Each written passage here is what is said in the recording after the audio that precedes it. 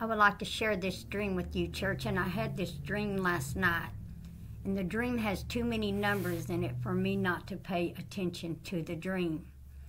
In the dream, I'm standing on top of a mountain with Moses. I cannot see his face because his face is covered up.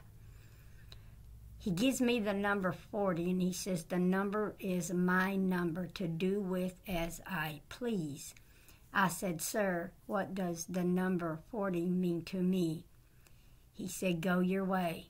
40 is your number, nevertheless. So I go my way and I'm climbing down the mountain. And once I climb down the mountain, I'm walking. And as I'm walking, I see this girl going up, being lifted up in the air. And on the bottom of both of her shoes is the number nine written. And I say, I, I say to myself, I'm afraid of that number nine. I have to call Brother Preston. That number nine means something to him. That number nine means something to Brother Preston. And I'm walking, and I see my sister Joyce, and she is crying for me to help her. And I see this woman almost as if she is mummified. She is all covered in cloth and she has no face. She has two arms holding on to my sister Joyce and shaking her side to side. And she has five arms above her head waving in the air. And in the dream, I say out loud, They are six things the Lord hates but seven is an abomination to the Lord. And I help my sister, I pray for her, for her to be set free from that bondage. And I see a table, and the table is full of coins. And the coins keep falling on the floor, and I'm trying to pick them up, but I'm weary of picking up these coins. So I say to those that are watching the coins on the table, I said, I'm going to cast these coins in the street. They're of no value to me. I am leaving. They are no value to me. They mean nothing to me. So I overturned the table, and the coins are running out into the streets, and I am walking. And as I am walking, I see a lot of people on the road walking with me, and everyone has received a number. And I'm asking everyone, what is your number? And some have the number seven, some have the number three. And they want to know what my number is. And I said, my number is three. I wanted the number seven, but for some reason I did not receive the number seven, but the number three. So they said that the number three was mine. And someone on the road said to me, maybe that's the order that we will be taken in. The threes will go first. I said, I do not know what the numbers mean. I don't know if it means that. So we come up to the door and the door is shut. And I says, Oh no, what are we waiting for? The door should have been opened by now. Someone says, No, we are waiting for the doomsday clock to strike 12. It has to be on 12. And I said, This is the midnight hour. This is 12 o'clock. Haven't I made myself perfectly clear? Our time here is up. I see my mother behind me, and my mother has been passed away since 1983. I see her giving a woman money, and I hear her telling the woman, You will be left behind. Here's everything that you need to survive. And the woman says, Why do I have to be left behind? Why can't we all go together at the same time? And I hear my mother telling the woman, those that are left behind will need answers. Someone has to answer. And the woman said, You're right. So not everyone will be taken, many will be left behind.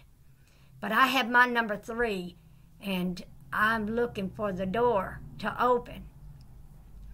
And then there's a man walking in the line and he he wants to see our number. And then he looks at me and he said, You can go. I see the seal upon your forehead. I said, You're looking for a seal? I thought we were going to go. We've already been sealed. I've been sealed a long time ago. I have my number. Now open up that door because I want in. I've been waiting a long time. When would the door open? He said, When you see the 12. When you hear the clock strike 12 times, that door will open and you will all go in at the same time. And then I see my brother, Donnie, and Donnie's on the road, and he's been passed since 2004. He's been gone home a long time. And Donnie is walking with people that are singing a song. And he says to me, Do you feel anything in your spirit about these people that are singing this song? Do you feel anything spiritually? I said, Get rid of them. Get away from them.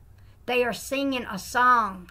And he said, Do you know the song? And I said, Yes, I know the song. He said, Who do I get rid of? Everyone that is singing that song. He said, Is it the song of the redeemed? I said, No, it is not the song of the redeemed. Get away from them. And then I turn on the road to the right and then I see the 144,000. And I said, What? There's the redeemed to the right of us. There's the 144,000 singing the song. And then in the dream, I hear the clock striking 12 times, and the door opens immediately, and we are going inside of the door and I hear the song of the redeemed, and I don't know to go through the door or to join the redeemed singing the song of the redeemed. But I feel the pull of what's inside of the door pulling me in, but I feel the pull of to join the 144,000 of the redeemed of the Lord singing the song. And I wake up and I think, oh Lord, I love the song of the redeemed, but I don't want to be left behind with 144,000. I want to go through the door when the door is open. And I, I called Brother Preston to share the dream with him, and he said, Oh, pray for us. We're getting ready to get on a plane and fly to El Salvador and uh, stayed past New Year's to uh, visit some family and friends. He said, Pray for us after you've had that dream. That dream means something. He said, I'm so sorry I can't talk with you because I'm getting ready to leave. I said, Oh, Brother Preston, I pray for you. I pray for you. What the Holy Spirit reveals to you about this dream, oh, church, it was so real. The dream was so real. God bless you, my dear, dear, precious friends. In Jesus Christ's most holy name we pray and let the church say amen and amen.